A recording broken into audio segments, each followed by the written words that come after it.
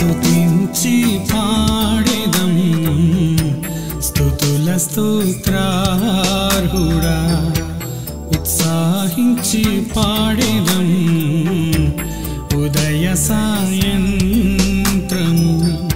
స్థుతుల సింహాసన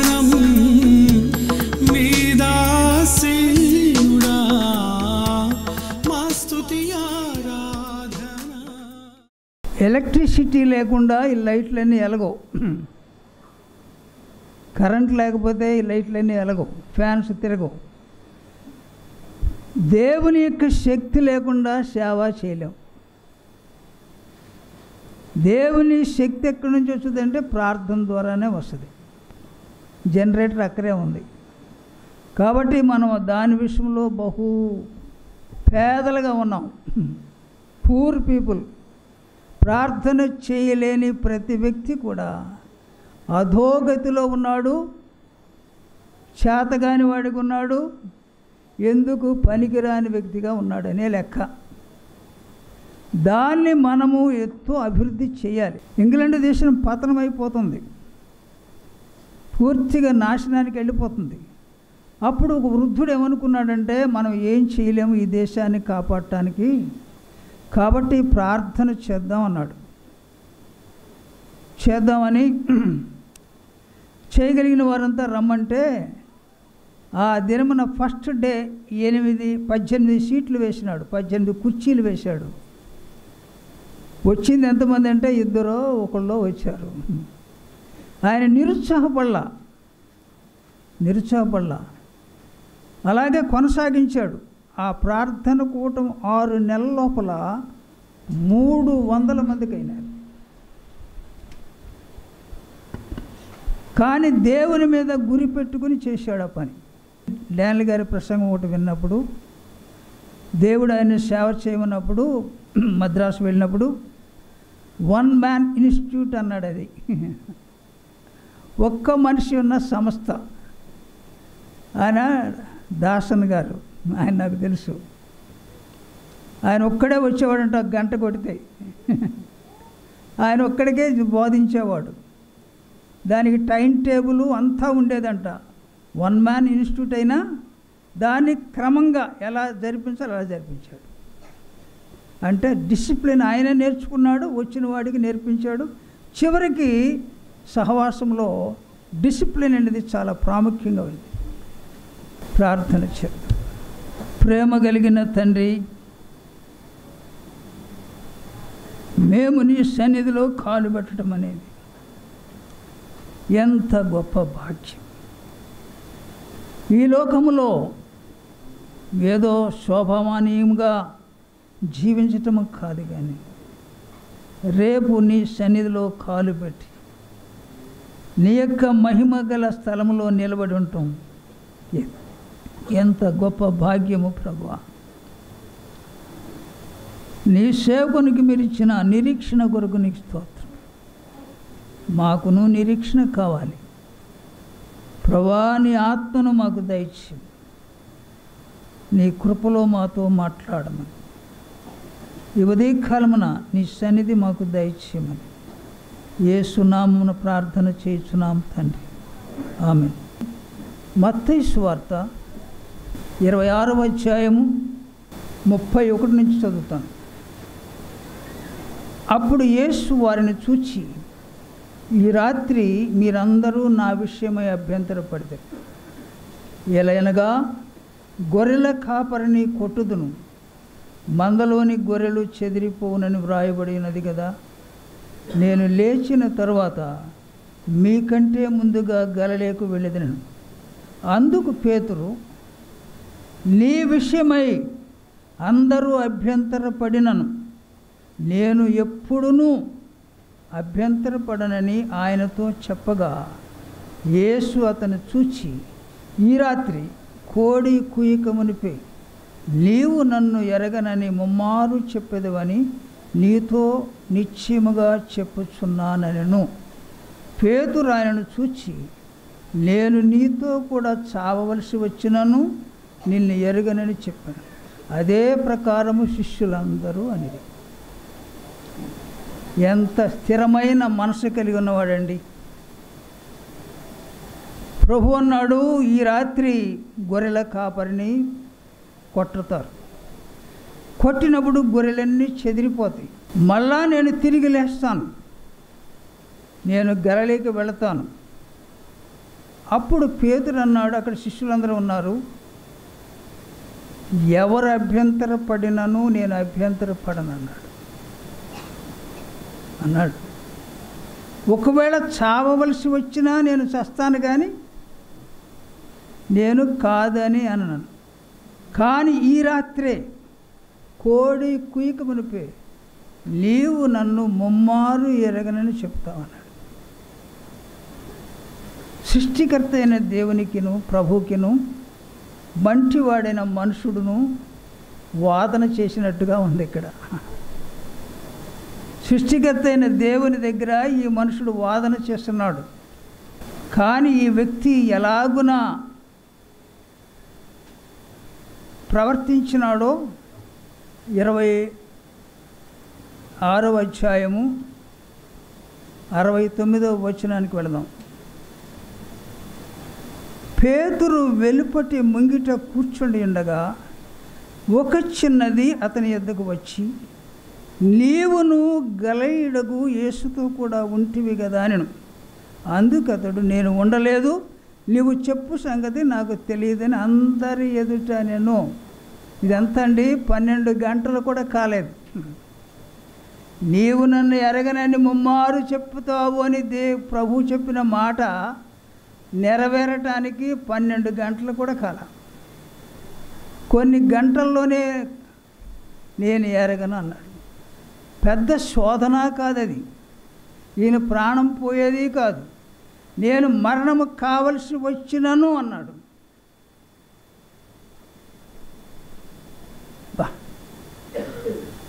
ఒక మనిషిని ఎందుకు ఎలాగూ నమ్మాలో అర్థం కావట్లేదు. ఇతడు ఒక పరిశుద్ధుడైన వాడు అపోస్తులుడుగా పిలువబడినటువంటి వాడు. ప్రభుతో కూడా రూపాంతరం కొండ మీదకి వెళ్ళినవాడు. మోషియను ఏలియాను చూచినటువంటి వాడు. మనం ఇక్కడే ఉందామని చెప్పినటువంటి వాడు.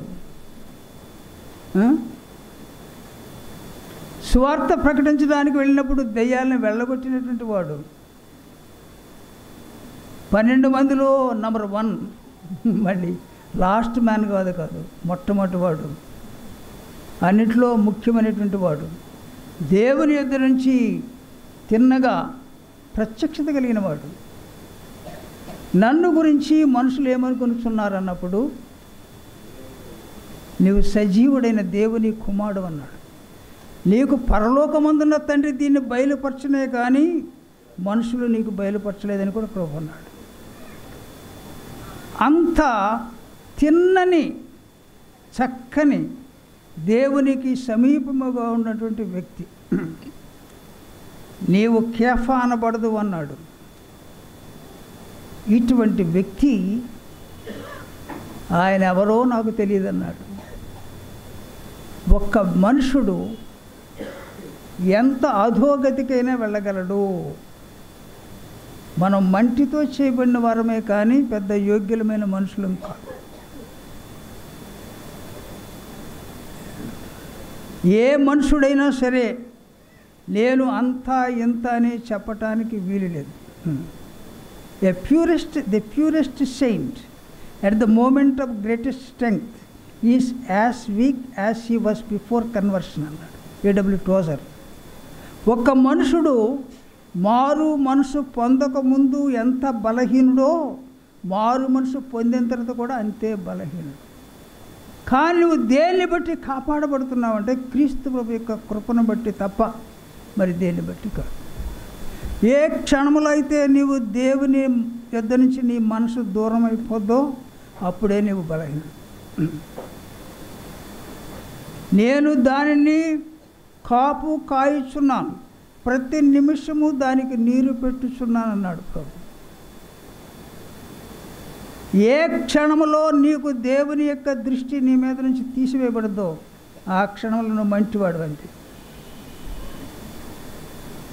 యక్షయ గ్రంథము ఇరవై ఏడవ అధ్యాయము మూడవ వచ్చిన చదవండి.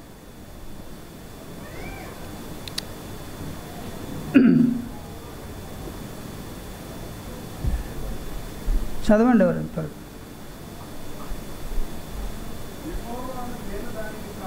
యహోవను నేను దానిని కాపు కాయుచున్నాను. ప్రతి నిమిషమున దానికి నీరు పెట్టుచున్నాను. దివారాత్రము దాన్ని కాపాడుచున్నాను. నిన్ను నన్ను దేవుడు దివారాత్రము కాపాడుచున్నాడు కాబట్టి మనం నిలబడుచున్నాం కానీ మనము లేకపోతే నిలబడటానికి మనకు ఆస్కారమే లేదు. బైబిల్ అంతా ఏం చెప్తుందంటే అబ్రహాము మొదలుకొని చివరి వరకు అందరి తప్పులు అందరి బలహీనతలు చూపిస్తుందే కానీ వీరంతా గొప్పవారని ఎప్పుడూ చెప్పలా. కానీ మనం అనుకుంటాం నా ఎంత గొప్పవాడు లేడని. పేదరుకున్న సమస్య అంతా ఏంటంటే he cannot understand himself that is the trouble ఇప్పుడు ఇక్కడ ఉన్న కూర్చున్న వాళ్ళ యొక్క సమస్య అంతా ఏంటో తెలిసిన మీరు ఎవరో మీకే తెలియట్లేదు. నేను ఒకసారి హైదరాబాద్లో ఫెలోషిప్లో ప్రసంగం చేసిన తర్వాత దిగిన తర్వాత ఒక వ్యక్తి అక్కడ నిలబడ్డాడు చాలాసేపు అందరూ వెళ్ళిన దాకా నిలబడ్డాడు.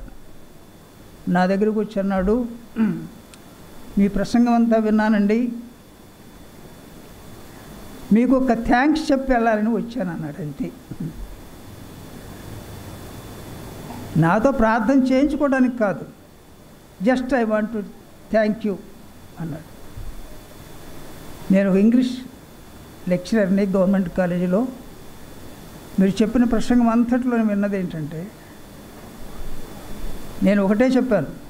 నేను మారు మనసు పొందకముందు నా అంత మంచివాడు లేడు అనుకున్నాను నేను మారు మనసు పొందిన తర్వాత నా అంత దుష్టుడు లేడు అనుకుంటున్నాను కానీ మారు మనసు పొందిన తర్వాత కొన్ని సంవత్సరాలు గడిచిన తర్వాత ఇప్పుడు నేనేమనుకుంటున్నానంటే నా అంత అపనమ్మకస్తుడు లేడు అనుకుంటున్నాను అన్నాను just for that I want to thank you అన్నాడు. నీకు అర్థం కావాలంటే నీ జీవితం క్రీస్తు ప్రభు దగ్గర అర్థం కావాలి. ఇన్క్రెడిబుల్ క్రిస్టియన్ క్రైస్తవుడు అనేవాడు అపనమ్మకస్తుడు. నీ జీవితం ఏదో కొద్ది చూసుకుని ఏదో ముడిసిపడబాకు నేను బాగున్నాను అనుకోబాకు ఇల్లు ఎప్పుడు కారుద్దో తెలిసినా? ఇల్లు ఎప్పుడు కారుద్దండి? వర్షం వస్తే. వర్షం రానంత కారణం ఇల్లు బాగానే ఉంటుంది. ఇల్లు వర్షం వచ్చినప్పుడు ఇల్లు కారుద్ది సమస్యలు వచ్చినప్పుడు నీ జీవితం అర్థం అవుద్ది. అప్పుడు దాకా అర్థం కాదు. నువ్వు మంచివాడు అనుకుంటావు. అది మనలో ఉన్న సమస్య అంతా అది. నీవు ఎవరవో నీకు తెలియట్లా. పేదరికి తన స్థితి తనకు అర్థం కాలేదు. ప్రభు దగ్గర మూడున్నర సంవత్సరాలు నేర్చుకున్నాడే కానీ ఇంకా తెలియలేదు. జీవితకాలం నేర్చుకున్నా కానీ మనుషుడు ఇంకా నేర్చుకోవాల్సింది చాలా ఉంటుంది. చాలా ఉంటుంది. అంత మాత్రం చేత నేర్చుకున్నాను కదా. మోసే నలభై సంవత్సరాల అరణ్యంలో నేర్చుకుంటేనే కానీ ఐగిప్తు దేశంలో ఇస్రాయేల్ను బయటికి తీసుకురావడానికి కొంతవరకు సహాయం చేసింది. కొంతవరకు. కాబట్టి దేవుని దగ్గర ఎంత నేర్చుకున్నా మనం ఎంత నేర్చుకుంటాం ఇంతకీ కారణం ఏంటంటే ఈ పేతురు ఇలా తప్పిపోవటానికి కారణం తనకి సెల్ఫ్ కాన్ఫిడెన్స్ ఎక్కువ. నాకు పర్వాలేదు నేను బాగున్నాను ఎంత సమస్య అయినా నా శక్తి చేత నేను తీర్చుకోగలను అనేటువంటి గ్రహింపుతో బయలుదేరాడు. ఈ రాత్రి మీరు నన్ను ఎరగనని అంటారు నన్ను విడిచిపెట్టి వెళతారు అని ప్రభు అంటే నేను వెళ్ళనే వెళ్ళను నేను చావలసి వచ్చినా కానీ నేను ఎరగనని చెప్పను అన్నాడు.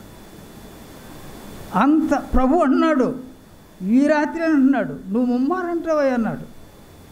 వింటలా అంటే నీ మీద నీకు అంత గట్టి నమ్మకం ఉందన్నమాట.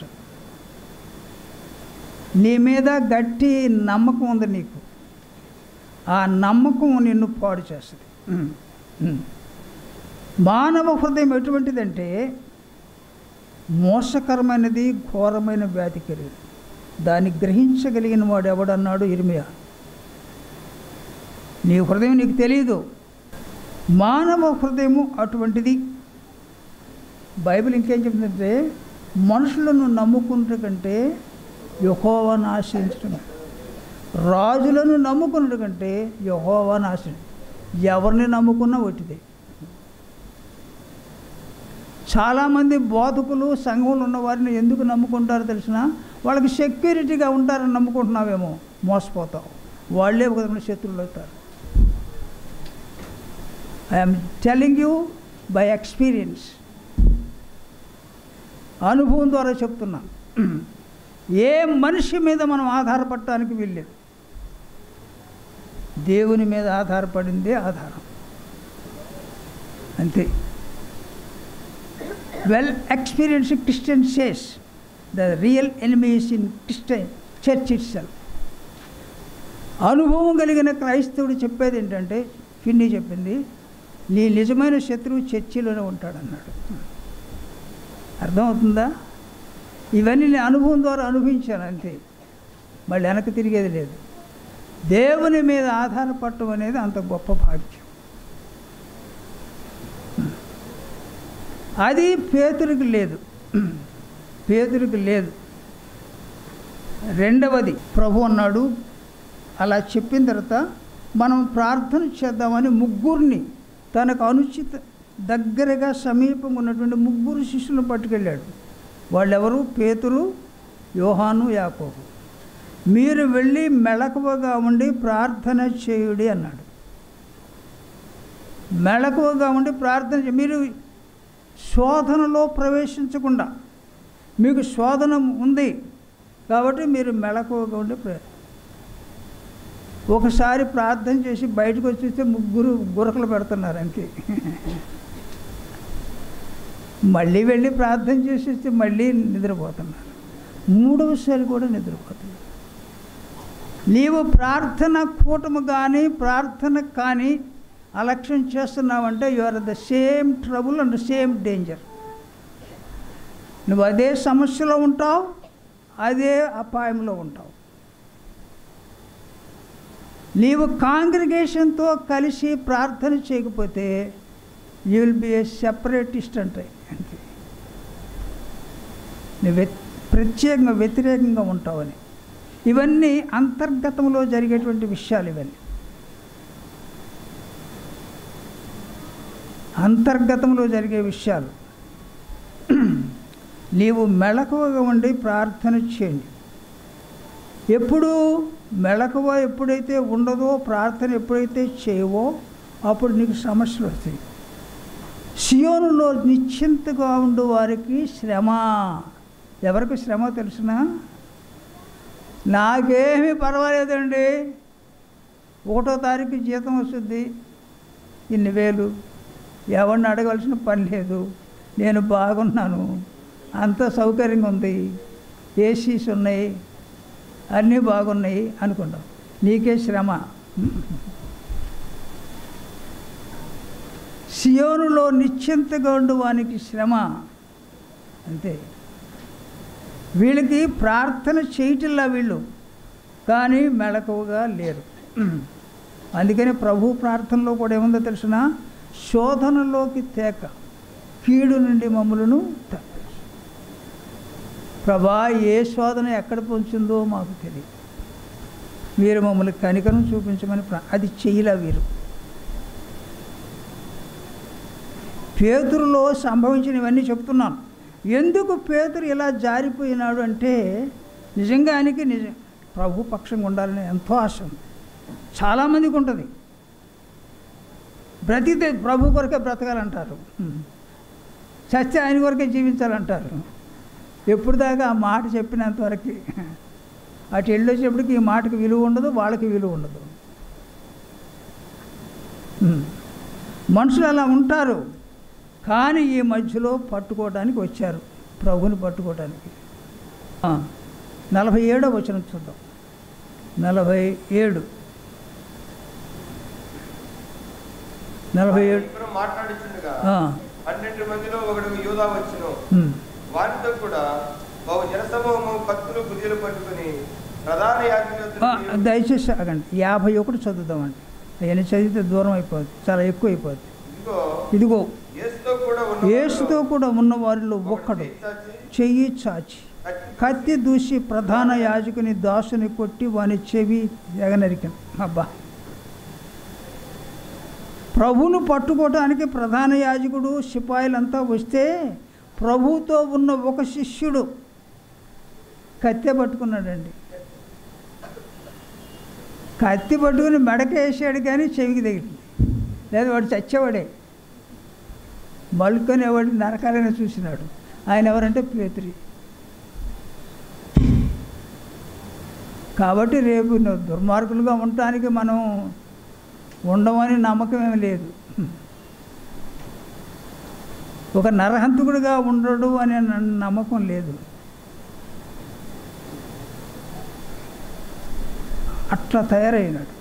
ప్రభు ఏమన్నాడంటే యేసు నీ కత్తి వరలో తిరిగి పెట్టము. కత్తి పట్టుకుని వారందరూ కత్తి చేతనే నశించారు అన్నాడు కత్తి చేతనే ఒక్కవేళ ప్రార్థనలో పెనుగులాడవలసిన వ్యక్తి కత్తి పట్టుకుని వచ్చాడండి. కత్తి పట్టుకుని వచ్చాడు అంతే మన యుద్ధోపకరణములు శరీర సంబంధమైనవి కాదు కానీ అవి పరలోక సంబంధమైనవి. ఇతడు శరీర సంబంధమైనటువంటి పరిస్థితికి దిగజారిపోయినాడు. శరీర సంబంధంగానే మొట్టమొదట మాట్లాడినాడు. ఎవ్వరు కాదన్నా ఎవరు విడిచిపెట్టిన అందరు విడిచిపెట్టినా నేను నిన్ను విడిచిపెట్టిన అన్నాడు. ఇదొక తప్పు. ఇంకోటి ఏంటంటే నీ సంగతి నువ్వు చూసుకో. వారి సంగతి వీరి సంగతి ఈయనకెందుకు? అక్కడ తప్పు చేశాడు. మనం ఎప్పుడు కూడా ఇతరులతో పోల్చుకోవడానికి వీల్లేదు ముప్పై మార్కులు వచ్చిన వాడితో నువ్వు పోల్చుకుంటే ఎప్పుడు ఫెయిల్ అవుతావు. నువ్వు ఎవరితో పోల్చుకోవాలి? తొంభై తొమ్మిది మార్కులు వచ్చినోడు వంద మార్కులు వచ్చినతో పోల్చుకుంటే అప్పుడు బాగుంటావు. నువ్వు ముందుకు వెళతావు తప్పేవాడితోటి పోల్చుకుంటే ప్రయోజనమే ఉంది. ఆ బోధకంతో ఈ బోధకంతో పోల్చుకుంటే ఏం ప్రయోజనం ఉంది? పిన్ని లాంటి బోధకంతో పోల్చుకుంటే ఎక్కడున్నాను రా బాబు అని తెలుస్తుంది అంతేనా? అది కావాలి. పేదరికి ఆ గ్రహింపు లేదు.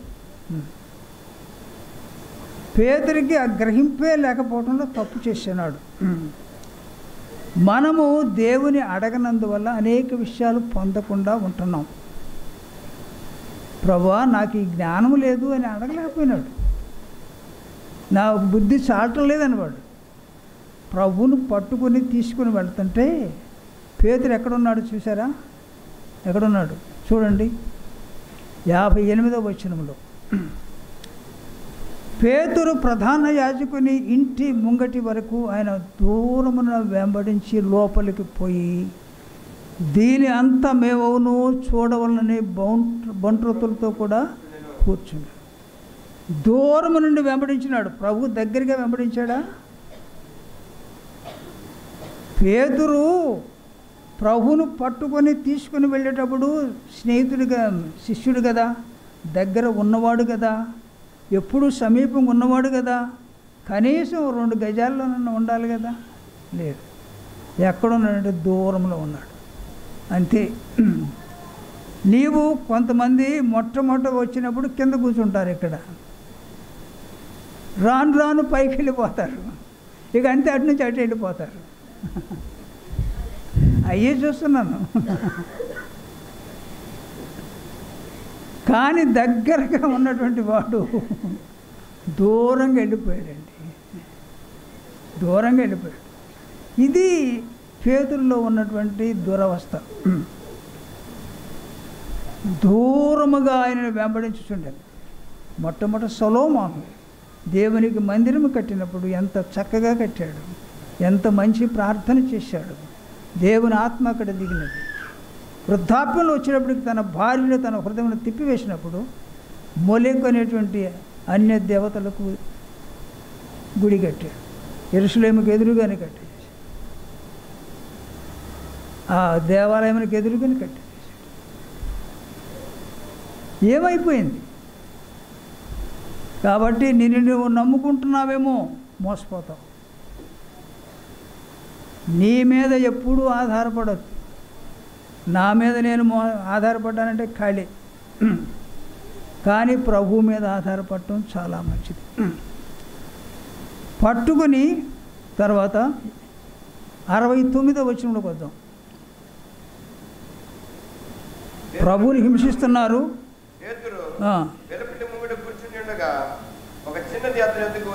పేదరు వెలుపటి ముంగిట వెలుపట్టి ముంగిట కూర్చునిండగా అక్కడ ప్రధాన యాజకుని యొక్క భవనం అక్కడికి వచ్చి కూర్చున్నాడు. ఒకప్పుడు ఎక్కడ కూర్చున్నాడు? రూపాంతరం అనే కొండ మీద కూర్చున్నాడు ప్రభు దగ్గర. ఇప్పుడు ఎక్కడున్నాడు? ప్రభు యొక్క శత్రువుల యొక్క ఇంటి దగ్గరికి చేరాడు. అది. అది. ప్రభు యొక్క శత్రువుల ఇంటి దగ్గర కూర్చున్నాడు. అదే యహోషపాతుతో అన్న మాట. చూడండి? రెండవ దినవృత్తాంతములు పంతొమ్మిదవ అధ్యాయము రెండవ వచనం. యహోషపాతు దేవుని శత్రువైనటువంటి ఆహాబునకు సహ సహవాసం చేసి అతనికి సహాయం చేశాడు. ఆహాబు దేవునికి శత్రువు. అటువంటి వాడికి యహోషపాతు సహాయం చేశాడు. ఇంటికి వచ్చిన తర్వాత యోహును పంపించి ఇలా చెప్పాడు. రాజైన యహోషపాతుకు ఇలాగ ప్రకటన చేశాడు. నీవు భక్తిహీనులకు సహాయం చేసి యెహోవా శత్రులకు స్నేహితుడు అయితే కదా. నీవు ఎవరికి సహాయం చేయాలి? దేవుని శత్రువులకు సహాయం చేస్తావా? నువ్వు దేవుని శత్రువులకు మిత్రుడు కావద్దు. మిత్రుడు కావద్దు. అది అలా చేయటం వల్ల ఇతడు వెళ్ళి ముంగిట కూర్చున్నాడండి. ఎనిమిస్ దగ్గర కూర్చున్నాడు. దేవుని యొక్క రాజ్యమును చెడగొట్టడానికి నువ్వు చేసే పనులు దేవుడు అంగీకరించడు.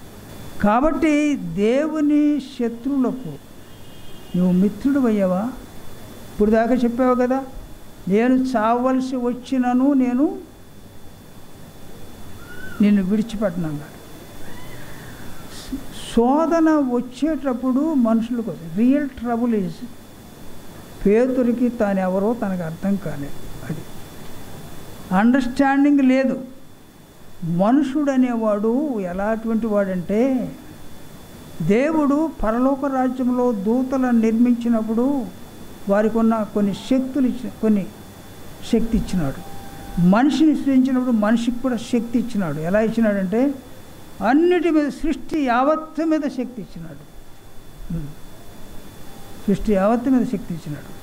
అటువంటి మనుషుడు ఒక్క పాపము చేయటం ద్వారా అధోగతికి పోయినాడు. మనుషుడు ఇంత అధోగతికి రావటానికి కారణం ఏంటి మన మానవ హృదయము చెడిపోయిందా? అది సరే చెడిపోయింది సరే. గ్రహించుకోలేకపోతున్నాడా? ఎన్ని గ్రహించుకుంటున్నావు నువ్వు? బైబిల్ అంతా గ్రహించుకుంటావు. బైబిల్ అంతా చెబుతావు. కానీ పాపము నుంచి బయటికి వచ్చే శక్తి నీకు లేదు. దానికి కారణం ఏంటంటే థామస్ రెడీ అనేటువంటి ఒక ఆయన ఒక ప్రసంగం చేశాడు పదిహేడు వందల సంవత్సరాల్లో ఆ శతాబ్దంలో. ఆయన ఏమన్నాడంటే మానవ హృదయం అనేది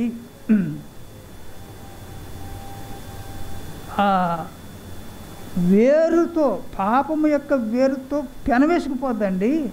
అందువల్ల మనుషుడు దాని నుంచి బయటికి వచ్చేంత వరకు వీడు ఇలాగ ప్రవర్తిస్తుంటాడు. ఒక ఆయన ఏమన్నాడంటే మార్పు చెందటం అనేది ఎటువంటిదంటే కంటిన్యూస్ ప్రాసెస్ ఒక పొర తర్వాత ఒక పొర నీలో కనబడతా ఉంటుంది ఉల్లిపాయకి పొరలన్నీ తీస్తేనే తప్ప చివరిలో ఎంత ఇంత మిగులుద్ది. నీలో ఎన్ని పొరలు ఉన్నాయో నీకే తెలియదు. ఏ రకమైన పాపం ఉందో నీకే తెలియదు. అవన్నీ తీసివేస్తూ ఉంటుంటే చివరికి మిగిలేదే భక్తి. అది ప్రభువుని ప్రేమించే భక్తి నేర్చుకోవటం చాలా కష్టం. చాలా కష్టం. అది దాని దాకా రావాల్సిందే మనుషుడు. దాని వరకు మనుషుడు రావాల్సిందే. అతడు ఆ సమయంలోకి వచ్చినప్పటికు ఎన్నన్నాడు చూడండి. ఆ మనుషుని నేను అతడు నడవలోనికి వెళ్ళిన తర్వాత నువ్వు చెప్పు సంగతి నాకు తెలియదన్నాడు నేను ఉండలేదన్నాడు. నేను ఆయనతో ఉండలేదు. అసలు నువ్వు చెప్పేది నాకు అర్థం కావట్లేదు అన్నాడు ముందు ఒకటే. ఓ ఎంత గొప్ప ఇదండి. అసలు నువ్వు చెప్పేది అర్థం కాలేదు అన్నాడే ఏమన్నా అది అర్థం ఉందా? ఇప్పుడు దాకా ఎన్ని మాట్లాడాడు ఎంత నీకు చెప్పేది అర్థం కాలేదండి. ఆ నడవలోనికి వెళ్ళిన తర్వాత మరి ఒక చిన్నది చూసి వీడును నజరేయుడకు యేసుతో కూడా ఉండినని అక్కడి వారితో చెప్పగా ఒట్టు పెట్టుకున్నాడండి. ఈ శ్రీకాకుళం ఈ తూర్పు నుంచి వచ్చేవాళ్ళు ఉన్నారు చూసారా? ఊరికే ఒట్టు పెట్టుకుంటారు. వ్యాపారం చేసేవాళ్ళు చూసారా? కొంతమందికి ఒట్టు పెట్టుకోవడం మహా తేలిక. పేదలకు కూడా మరి అలవాటైందేమో. చేపల వ్యాపారం చేశాడు కదా. వ్యాపారం చేసినందుకు ఒట్లతో త్వరగా పెట్టుకుని ఉంటారు. అయ్యా ఇంతకు అమ్మానండి. ఇంతకే కొన్నానండి అంటారు. ఆ స్వభావం వచ్చేసిందన్నమాట. నీవు చిన్నప్పుడు ఏ రకమైన భక్తి ఏ రకమైన చెడులో ఉంటావో అది పెరిగిన తర్వాత కూడా అది ఏదో ఎక్కడో కింద ఎక్కడో దాగినది బయటకు వచ్చేసింది. ఆ చేపల వ్యాపారం చేసేటప్పుడు ఇలా చెప్పుంటాడేమో అని అనుకుంటున్నా. నాకు తెలియదు కానీ ఒట్టు పెట్టుకున్నాడు. మనుషుడు అనేవాడు ఎలా ఉంటాడంటే చివరికి కిందకి జారిపోయాడండి. తర్వాత ఆ మనుషుని నేరుగా మరలా చెప్పాను. కొంతసేపు అయిన తర్వాత డెబ్బై రెండులో కొంతసేపు అయిన తర్వాత అక్కడ నిలిచిన్నవారు నద్దకు వచ్చి నిజమే నీవును వారిలో ఒకడవే. నీ పలుకు నిన్ను గూర్చి సాక్ష్యం ఇచ్చుచున్నదని అతనితో చెప్పాడు. ఇతడు గలలీయుడు. గలలీయుడికి ఆ శబ్దంలో ఉచ్చారణలో కొంచెం వ్యత్యాసం ఉంటుంది. నెల్లూరు వాళ్ళ భాషకి వేరే వేరే ఉంటుంది. అరవాళ్ళ సాంప్రదాయం వచ్చింది చిత్తూరు వాళ్ళకి. ఆ సాంప్రదాయం మాట్లాడుతుంటుంటారు అలాగే కొన్ని పరిసర ప్రాంతాలను బట్టి వాళ్ళ భాష మన భాష కొంచెం తేలిగ్గా ఉంటుంది. అంటే వ్యత్యాసం ఉంటుంది. అందుకని ఇతని గలయుడు కాబట్టి అతని భాష శైలి కొంచెం వ్యత్యాసంగా ఉంది. నీ భాష చెప్తుందయ్యా నువ్వు నువ్వు ఆయన గలయుడివి నువ్వు ఆయనతో కూడా ఉన్నావని అంటే బాబు లేదు ఎరగన్నాడు ఇంకేమన్నాడు చెప్పండి? చెప్పాను. చెప్పించుటకును ఒట్టు పెట్టుకుంటూ మొదలుపెట్టు. మళ్ళీ ఈసారి చెప్పించుకుంటున్నాడండి. ఇంతగా దిగజారిపోతాడని ఎవరైనా అనుకుంటారా? ఎంతగా దిగజారిపోతాడు అనుకుంటారా ఒక ఐదారు గంటలే కాలేదే. ఇంతకు ముందే కదా నువ్వు మాట్లాడింది.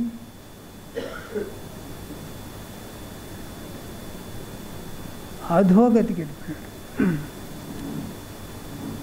మనిషిని శరీరాశ నేత్రాశ జీవపుడ్డంబము ఈ మూడు వెంట వెంబడిస్తూనే ఉంటుంది డైలీ నీ వెనకే ఉంటాయి నీ పక్కనే ఉంటాయి నీ ముందే ఉంటాయి. వాటిని చూస్తూ ఉండాల్సింది.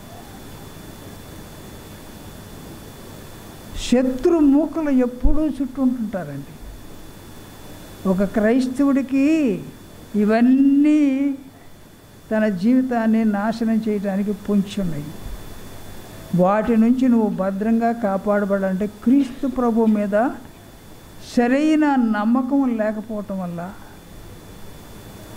తాను ప్రభువు మీద ఆశ ఆధారపడకపోవటం వల్ల వచ్చిన సమస్య ఇది. మరి ఈ వ్యక్తిని దేవుడు ఎంత పైకి లేవనెత్తినాడంటే ఇక్కడే ఆశ్చర్యకరంగా ఉంటుంది. పేతురును మరలా పైకి లేవనెత్తడం అనేది ఎంత గొప్పదంటే అంత గొప్పది.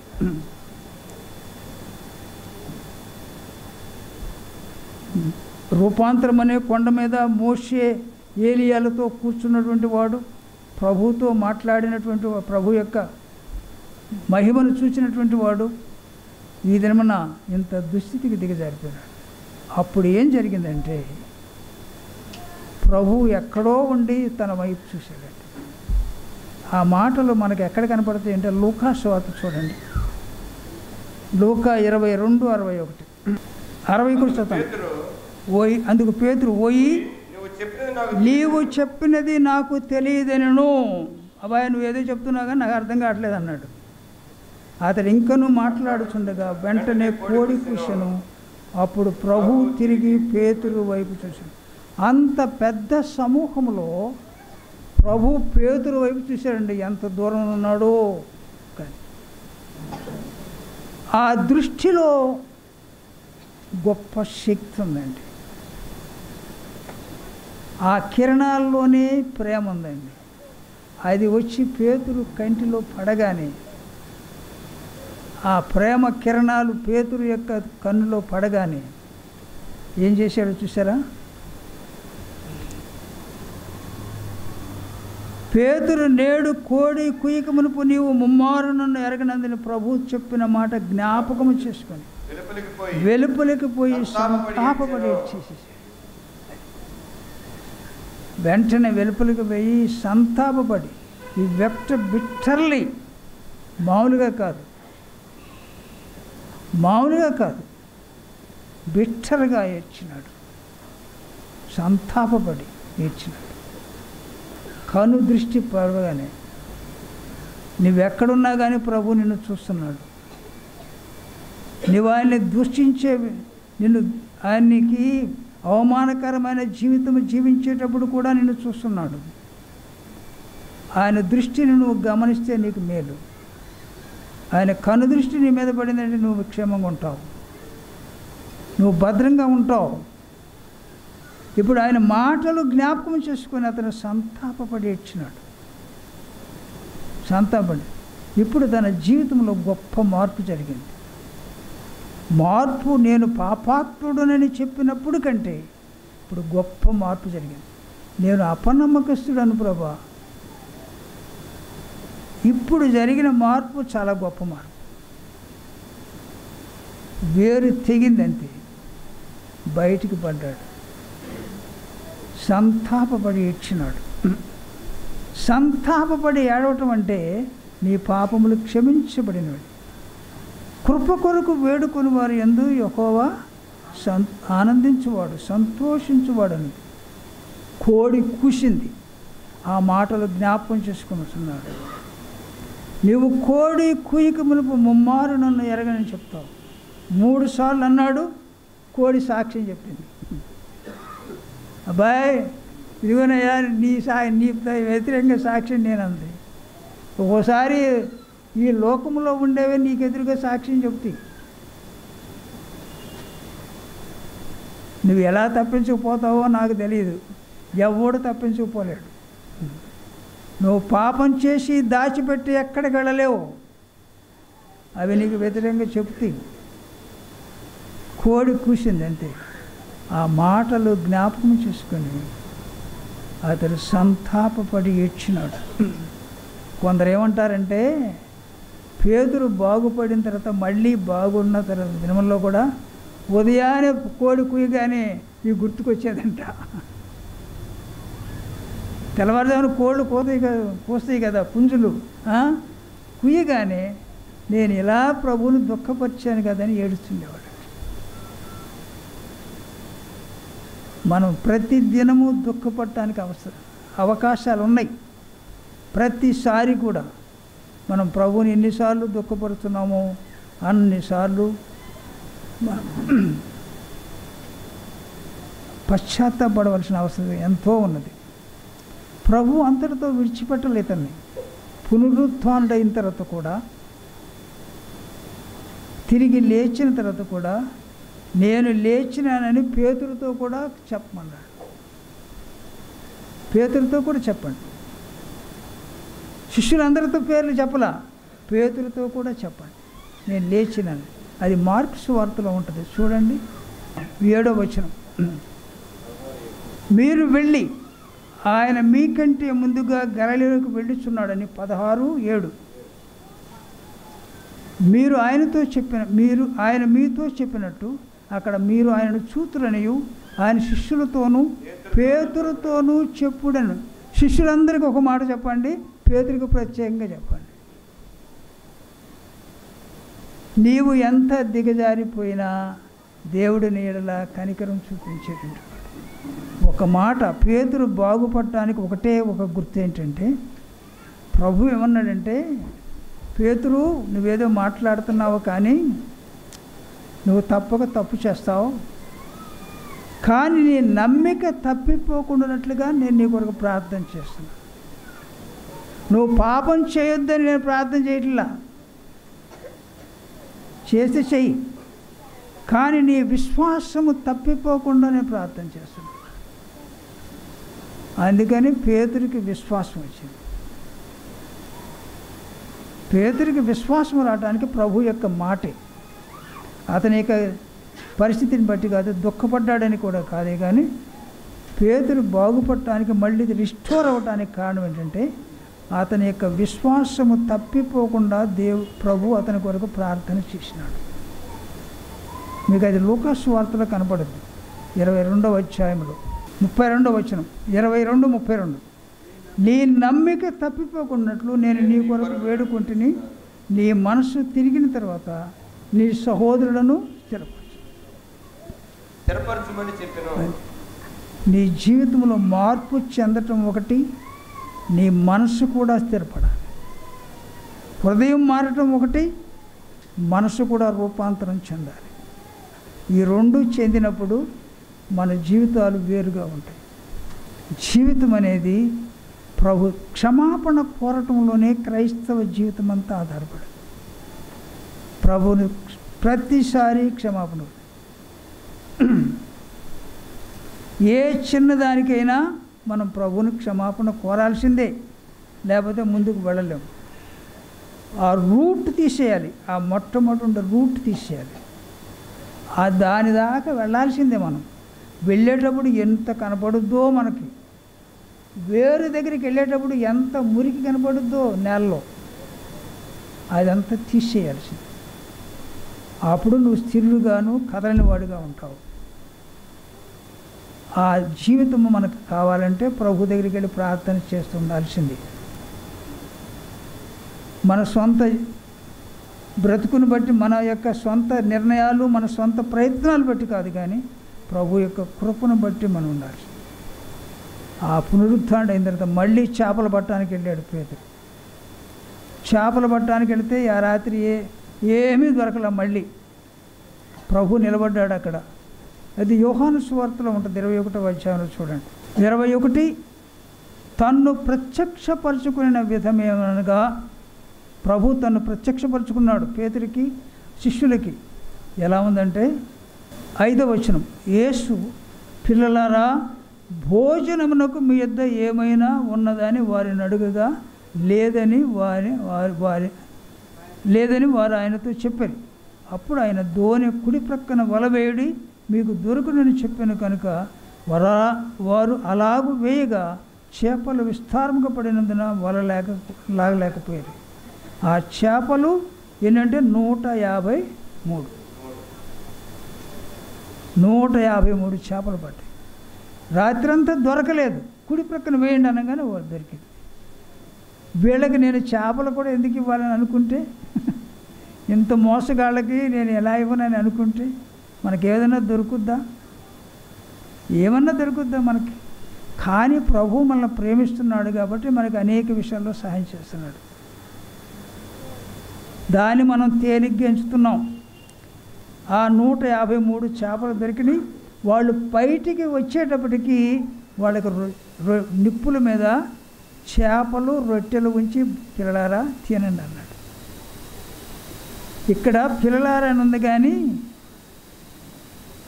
అసలు హెబ్రి మొట్టమొదటి భాషలో ఏముందంటే చిన్న పిల్లలారా అని అర్థం అంట. మీరు తెలియదయ్యా? చిన్నపిల్లలారా రండి తినండి అన్నాడు. అంటే ప్రభు అలా క్షమించడానికి కూడా ఇష్టపడుతున్నాడు. మన దోషములను ఆయన జ్ఞాపకం ఉంచుకుంటే మనం ఎందుకు పనికిరాం?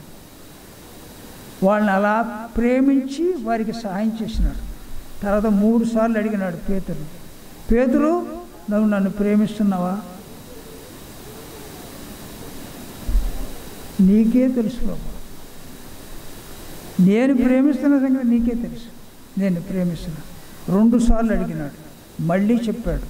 మూడవసారి అడిగినాడు. వ్యసన పడ్డాడు. నేను ఈ మోసగాడంగా చేసిన దాన్ని బట్టి కదా ప్రభు మూడు సార్లు అడిగింది. మూడు సార్లు నన్ను అడిగాడంటే వ్యసన పడినాడు బాధపడినాడు కానీ నిన్ను వెంబడిస్తున్న సంగతి నీకు తెలుసు.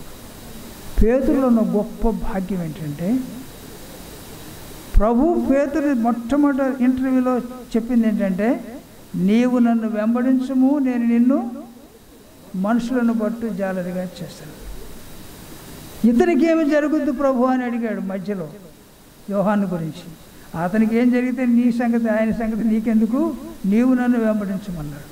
చివరిలో కూడా ఏం చెప్పాడంటే నీవు నన్ను వెంబడించు. ఒక దైవజనుడు చెప్పింది ఏంటంటే పేతురులో ఎన్నో అవకతవకలు ఉన్నా కానీ ప్రభువును వెంబడించట్లో వెనక తగిలేదన్న ఈ never fail to follow Jesus నీలో ఎన్ని అవకతవకలన్నా ఉండొచ్చు. ప్రభువును వెంబడించే విషయంలో నువ్వు తప్పిపోకుండా ఉంటే పరలోకం నీది. అంతే. అటువంటి పేదరిని ప్రభు ఏం చేసినాడంటే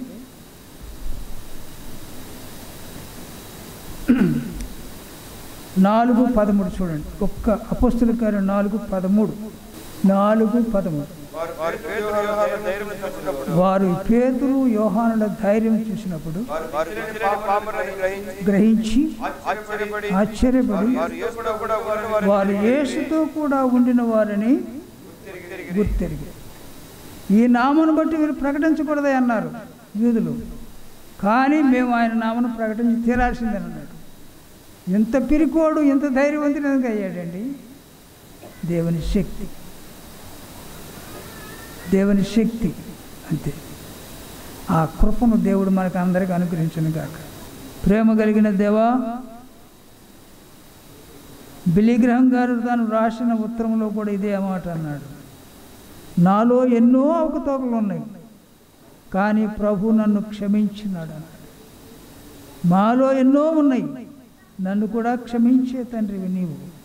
మేమందరము యోగ్యులము కాదు మంటి వారము.